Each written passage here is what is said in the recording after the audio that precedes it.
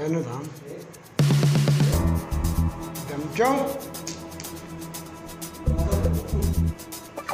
तो घुमा पूरा? हाँ आगे वो कर दे।